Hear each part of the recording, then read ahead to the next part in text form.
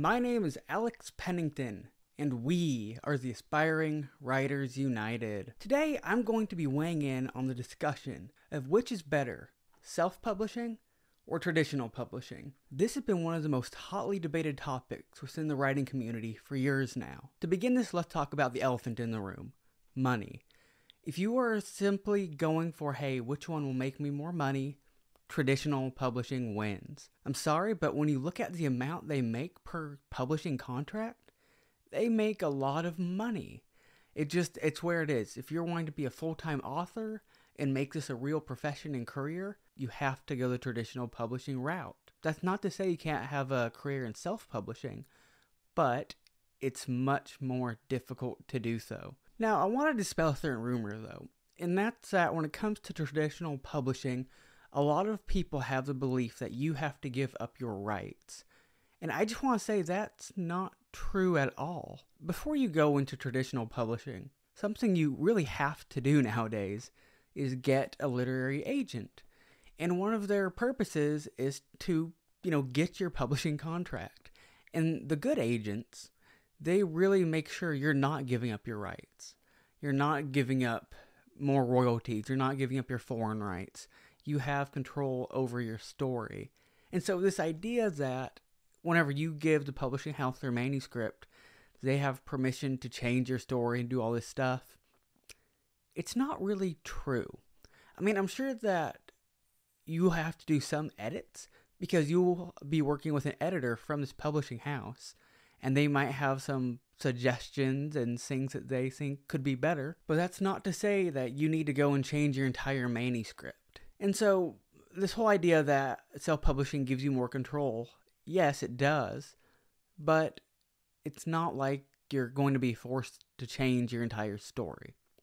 So, let's get into self publishing for a second. Another rumor that I hear is that self publishing is free.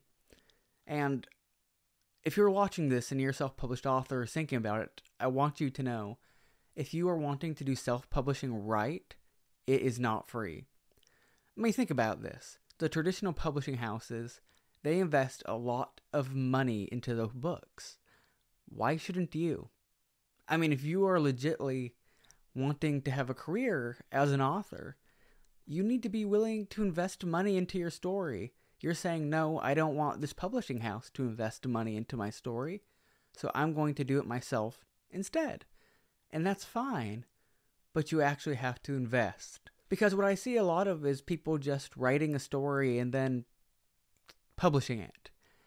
And I'm sorry, but the probability that you are actually going to make a career of this is very, very small. So, what I suggest you do is hire an editor, hire a quality book cover designer, get beta readers, you know, you have to be the person in control of your story. And yes, you need editors. If you go the traditional publishing route, which I still suggest you hire an editor before you start querying an agent, the agent will probably edit your manuscript quite a bit. Following this, the publishing house will edit your manuscript quite a bit. You yourself will edit your manuscript a lot bef- before it's actually put into print. So your story is constantly being revised and improved. And that's great. Except when you go the self publishing route, this editing process often doesn't happen. And let me just tell you, as someone who's done many, many, many rounds of edits on his own manuscript and then actually gave it to an editor, you're going to miss a lot.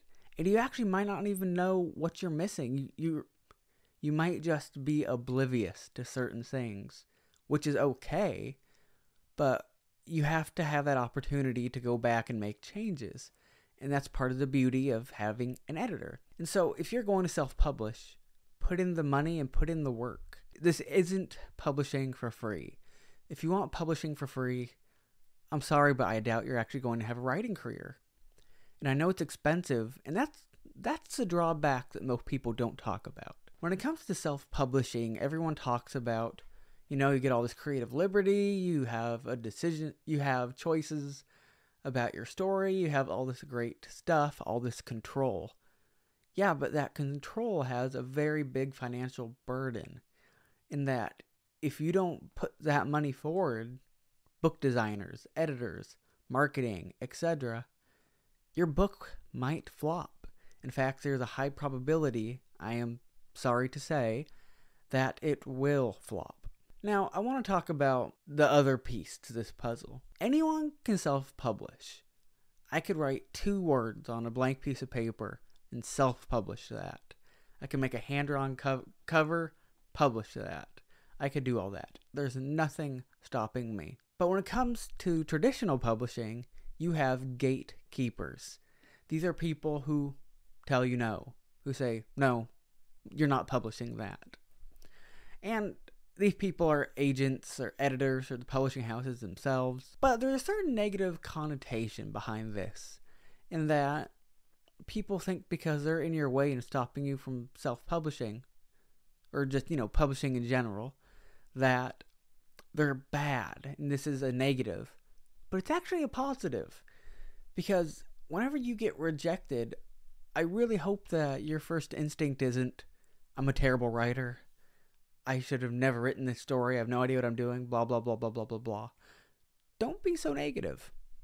Instead, think, okay, this got rejected. How can I make it better? And maybe you go back and edit. Maybe you put it aside for a month or two, go read some books, and you go back and edit. My hope is that by doing this, you will go, oh, that's probably why this got rejected. You'll kind of start to see the cracks in your armor, which is okay because whenever you see what's wrong, you can do things to make it right. I mean, if I'm off my my previous editor Ashley, who going to be my current editor in a couple of weeks, I'm excited about that she pointed out some great stuff in my story that I was like, hey, this isn't working. And I didn't know that. I had no idea. I was, again, completely oblivious. But I can tell you, if I would have query, queried a literary agent, he would have shot me down because of those things. And so, yeah, we all want to write the perfect manuscript, but you have to be able to accept that, hey, it's not perfect and I can actually do work and make it better. And that's a positive thing because every time you edit, you're getting better and you're taking a step closer to publication. And so when it comes to self publishing or traditional publishing, self publishing, anyone can do it. But if you want to do it right, it's really expensive. Just putting that out there, it's not cheap. And you shouldn't go the cheap route if you're serious about your writing career. Traditional publishing, it's you know, unless you hire an editor, it, it can be free. It can be. Seriously. You don't have to hire an editor, even though I highly recommend it. But there are a lot of gatekeepers. There are people who will say, no, that's, we don't like this. I'm sorry, but we don't. And so you need to make the decision for yourself. What matters more to you? Getting published fast or giving yourself the highest probability of having a long term success. Because hands down, the money is in traditional publishing. If you want a career, it's in traditional publishing. Occasionally, there will be a breakout self published author, but this usually comes from an incredible book idea or they have a large social media following. There's something special. It's not the average. And so, what do you like? Are you leaning towards self publishing or traditional publishing? Again, you know, I have seen success on both sides of the spectrum. I always lean towards traditional publishing just because there are so many more resources. Having an agent, having an editor at a publishing house, these are things that will make you better in the long term. Thank you all for listening, and please comment below what do you think is better, self publishing or traditional? Comment below.